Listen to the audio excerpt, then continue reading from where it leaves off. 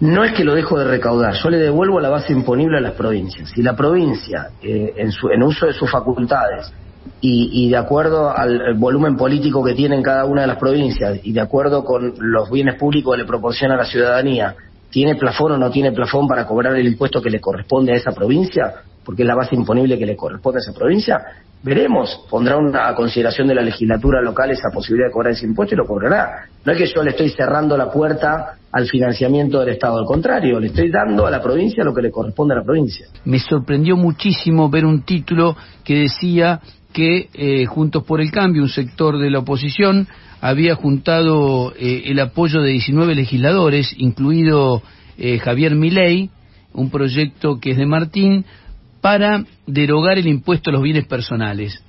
A mí a priori me pareció un disparate, una locura, una locura eliminar el impuesto, en este contexto el impuesto a los bienes personales, que para mí es uno de los impuestos que uno podría calificar como progresista. Más bienes tenés, más pagás en una sociedad tan desigual.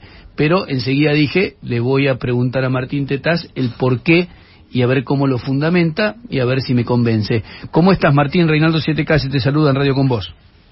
Buen día, buen día, Reinaldo, y agradeciendo la oportunidad de justamente poder este, tratar de convencerte. Ese, es mi trabajo. A ver, contame por qué en este contexto se presenta un proyecto así.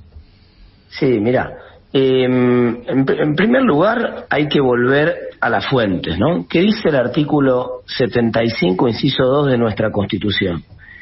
Que el Congreso puede imponer contribuciones directas por tiempo determinado, por tiempo determinado, lo voy a decir por tercera vez, por tiempo determinado, proporcionalmente iguales en todo el territorio de la nación, siempre que la defensa, seguridad común y bien general del Estado lo exija. Digamos, ¿con qué criterio puso el legislador esta posibilidad? El criterio histórico fue los impuestos indirectos son de la nación, los impuestos directos, que es donde están las propiedades, son de las provincias, que es el lugar en el cual están las propiedades, ¿no? Entonces, el, el, eh, ¿por qué? Bueno, la base imponible está cerca del legislador, que es el que tiene que imponerle el impuesto al contribuyente y tiene que devolverle bienes públicos de calidad equivalente. Entonces, y si, y si eh, se zarpa con impuestos, tiene que responder con sus propios contribuyentes. Esa lógica se rompió en Argentina. Con el criterio de la excepcionalidad, pusieron un impuesto en el año 91, que era inicialmente por nueve años, por nueve años, y llevamos 31 años de una contribución que debía ser por tiempo determinado. Obviamente cuando el legislador puso por tiempo determinado, no estaba pensando en que alguien pusiera por 100 años, ¿no? porque eso es una, es una novedad. El carácter es un carácter de excepcionalidad del tributo. Acá le robaron la base imponible a las provincias y ahora si quieren cobrar impuestos patrimoniales las provincias no pueden porque buena parte de la base imponible se la quedó el Estado Nacional que no le corresponde, más allá de que coparticipe casi la mitad de esa recaudación. Entonces hay un primer problema de origen, el impuesto no va más, no, no corresponde, eh, está mal, fue mal prorrogado durante muchísimas oportunidades, más allá de que uno pueda discutir después, que es lo, la parte en la cual me voy a meter ahora, la razonabilidad o no de impuesto. Pero el, el primer el punto, ese es un impuesto que en todo caso tendrían que cobrar las provincias, y yo quiero, y creo que ese es el apoyo más importante que va a tener el proyecto en el Senado, sobre todo, yo quiero que las provincias recuperen la capacidad tributaria de poder cobrar sus propios impuestos y hacerse responsables frente a sus propios ciudadanos los impuestos que cobran. Es un principio republicano básico. Así que e, ese, ese es el primer punto. Pero e, en segundo lugar, cuando vos te, pones a mirar, Reinaldo, el impuesto a los bienes personales, es, es todo lo que está mal en un impuesto. Vamos, es un impuesto Primero que, eh, contrario a lo que mucha gente cree, la gente dice, este debe ser un impuesto a la riqueza, ¿no? El mínimo no imponible son 24 mil dólares. Entonces, cuando dice 24 mil dólares, ¿y quién cae en esos 24 mil dólares? Y, por ejemplo, en la ciudad de Buenos Aires, muchísimos jubilados de la ciudad de Buenos Aires que complementan sus ingresos, fueron ahorrando en su vida profesional y completaron sus ingresos, tienen un departamento. Un departamento de un ambiente en 11, digamos, no no es que eh, es un, piso el Libertador el que paga el impuesto. sí, pero ¿cuánto eh, paga el, que tiene un departamento en 11? No importa, está bien, paga sobre el excedente del, del bruto ese, la primer, el primer tramo de la alícuota, que es 0,5%, después se va a 0,75, después cuánto es hasta 2,25, hasta 2,25 en el caso del fondo del exterior. Ese es otro problema. Hay una discriminación entre los fondos que están en, en, en jurisdicción local versus los fondos que están en el exterior que es contraria a la Constitución porque, porque las contribuciones directas que puede imponer el Congreso son proporcionalmente iguales en todo el territorio de la nación, dice expresamente la Constitución. Mm. Esto es saltarlo y decir, bueno, entonces afuera te impongo la contribución y encima es, es, en un valor diferente, trata de manera inequitativa a dos personas que tienen inversiones distintas. Más aún, más grave, porque el que tiene las inversiones en el exterior, yo tengo, suponer que tengo un departamento en, en Uruguay, ¿no? Si yo tengo un departamento en Uruguay, es, es normal que lo tenga declarado por un valor mucho más cercano al valor de mercado que si lo tengo acá. Ahí aparece otro problema, es decir, las valuaciones fiscales están tan distorsionadas en Argentina que eh, no hay manera de saber cuánto es un patrimonio. Por ejemplo, si vos tenés el patrimonio en, una, en un, no sé, en dólares, en un depósito en dólares, lo tenés más claro porque está declarado por ese montón de depósito en dólares, pero si lo tenés por una propiedad inmobiliaria, Depende, si vos la tenés, eh, eh, te lo compraste en la década del 80, lo tenés a evaluación fiscal de aquel momento actualizada, pero si vos te lo compraste ahora, por ejemplo, con un crédito hipotecario, lo tenés al momento actual, o sea, está mucho más cerca de la evaluación de mercado. Es un impuesto que eh, rompe todo principio de equidad horizontal, y trata de manera completamente distinta a personas que están en la misma situación. Déjame, Tercero, es un impuesto sobre activos y no sobre patrimonio. Es decir, es otro error fundamental. Yo puedo tener, eh, no sé, una propiedad, pero tengo una deuda también. No importa, no mira la situación, me trata, trata igual este impuesto a dos personas. Una que tiene todo propiedades y nada deuda y una persona que tiene propiedades, pero del otro lado tiene deudas. Entonces, eh, como te decía, genera un montón de problemas ahí. En, en, tercer lugar, es, un, es una mala idea cobrar, eh, en general la tendencia en el mundo es a eliminar los impuestos patrimoniales y a reemplazarlos en todo caso, y el debate donde sí está en el mundo es sobre el impuesto a la herencia, si hay alguna posibilidad de imponer algún impuesto a la herencia. ¿Por qué? Porque eh, poner un impuesto sobre patrimonio graba dos veces lo mismo, o sea, vos ya pagaste impuesto a las ganancias por ese dinero. Ahora, si yo en vez de gastarlo al dinero ese por el cual ya pagué impuesto a las ganancias, que ya me gané, lo quiero tener en una propiedad, bueno, entonces pago más que si me lo quiero gastar, digamos, tampoco tiene mucho mm. sentido. Eh, la persona que se lo gastó en viajes al Caribe, digamos, y se reventó toda la plata que tenía, no paga el impuesto. Pero la persona que decidió eh, complementar su jubilación y comprarse uno o dos departamentos, paga el impuesto como si fuera además un rico en Argentina cuando está eh, mm. lejos de serlo, ¿me comprendés? Sí, ahora déjame decir algunas cosas, yo ya te escuché tus fundamentos. Eh, a mí me parece eh, que, en todo caso parece una preocupación destinada a defender a los que más tienen en la Argentina, por eso me llama la atención. Paga muy poca gente el impuesto a los bienes personales, por lo que yo pude averiguar, en Cava solo 230.000 personas eh, pagan el impuesto, gente, la mayoría de mucha capacidad contributiva. Eh, el mínimo no imponible para los inmuebles con destino a casa habitación es 30 millones de pesos por lo menos eso es en el 2021. Eh, me, me, sigue pareciendo en este contexto que no es solamente el contexto de coyuntura muy jodido que tiene la Argentina con 40% de pobres, sino en este contexto de gran desigualdad que hay en la Argentina, eh, hay un grupo de diputados que está preocupado por ir a zafar eh, de pagar impuestos a los tipos que más tienen, ¿entendés? Eso es lo que me hace, me hace muchísimo ruido. Está bien, pero vamos, por partes. Primero, el tema de la desigualdad, que es un tema interesante que tratás vos. ¿Cuál es la causa de la desigualdad? Y que hay gente que tiene más de lo que tendría que tener y gente que tiene menos de lo que tenía que tener. ese, es el resultado, ese es el resultado. Hay gente que tiene más y hay gente que tiene menos. Ese es el resultado de la desigualdad. ¿Cuál es la causa? ¿Por qué hay gente que, se tiene dos departamentos y gente que no tiene ninguno? Y vos me vas a decir que porque, porque ha hecho un gran esfuerzo y los otros no. Por mil razones. Una es, una es esa razón. No sé, vos me preguntás la causa. ¿Cuál es la causa para vos? De esas razones, ninguna de esas razones de la causa, ninguna de esas razones de la causa, se combate combatiendo los resultados. ¿Me comprendés? no, bueno, ahí, sí tenemos una diferencia, pero la política fiscal es una herramienta para mejorar la, los niveles de igualdad en una sociedad. Es pedirle a los que tienen más que hagan un esfuerzo para que el Estado tenga recursos para asistir a los que tienen menos. Bueno, por supuesto, así funciona la política fiscal, de hecho, no hay ninguna duda. Pero, pero bueno, pero vos atentás contra esa política fiscal diciendo, che, los que tienen más no paguen. No, primero, primer punto. El impuesto sobre los bienes personales tiene un mínimo no imponible ridículo en Argentina. Vos mencionaste el caso de la casa habitación. Por supuesto, la casa habitación, asumamos que ninguna, 30 millones de pesos igual no es nada para las valuaciones, de, eh, sobre todo si tuviste que comprar la casa recientemente y tenés valuación de mercado, ¿no? Y es el valor que corre ahora, en 2022, no en 2021. Pero, pero asumamos que nadie paga por la casa que tiene, que es un principio básico, ¿no? Que debería ser. Bueno, vivo en esa casa, está bien, no pago por la casa. Perfecto.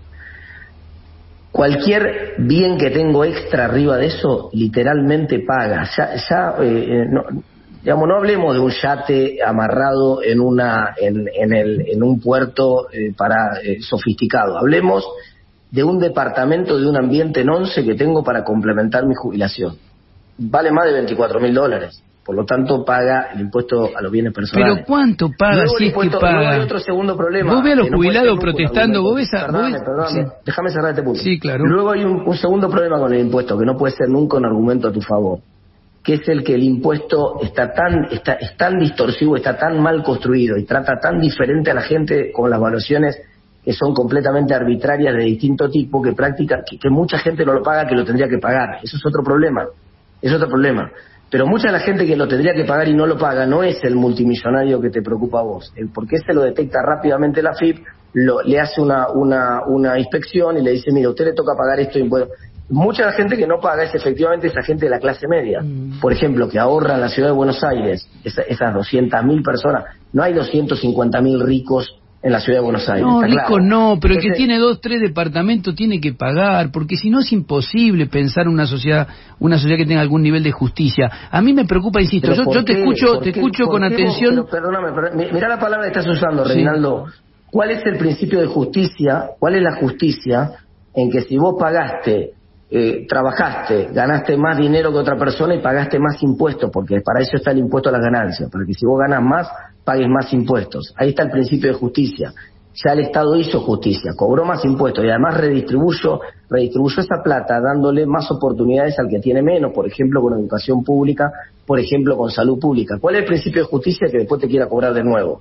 Digamos, ¿qué, ¿Cuál es el principio No, de te está cobrando, ¿Tienen que te está cobrando sobre, Eso no es justicia. te está cobrando ¿Pero vos sobre los no bienes, te está cobrando sobre los bienes y una ínfima parte sobre una, sobre una evaluación fiscal. No sé, a mí me parece que hay un concepto, creo que es conceptual. Yo te entiendo lo que vos decís de las provincias, eso me parece atinado, me parece interesante, me parece que es una locura esto de seguir marcando impuestos temporarios que duran 50 años, eh, pero ustedes no plantean eso, plantean directamente la eliminación del impuesto. Eso me preocupa, Claro, me parece que perdóname, perdóname, déjame terminar, déjame, ter- redondear a mí ahora y déjame redondear a mí, yo te dejo el cierre de la nota como corresponde. dale, dale, no hay De, lo, lo que quiero decir es lo siguiente, me, me parece que hay una mirada de, de un sector importante de Juntos por el Cambio de la oposición, ni hablar de los liberales, que es como una especie de mirada antiimpuestos. Saquemos todo. ¿eh? No, no cobremos nada, no cobremos retenciones, no cobremos impuestos. no- Y después, ¿sabés qué pasa? No tienen recursos y se pudre todo como pasó con Mauricio Macri. Esa es la sensación que tengo, que hay una mirada como antiimpuestos que me preocupa porque, a ver, eh, no es más o menos Estado, no es un Estado, es un Estado más eficaz. Eh, y y un Estado sin recursos no puede ser más eficaz. Te es una- te lo- te- la mejor respuesta que tengo para terminar con ese argumento es que nunca el Estado tuvo tantos recursos como ahora en la historia y nunca fue tan, in- tan ineficaz.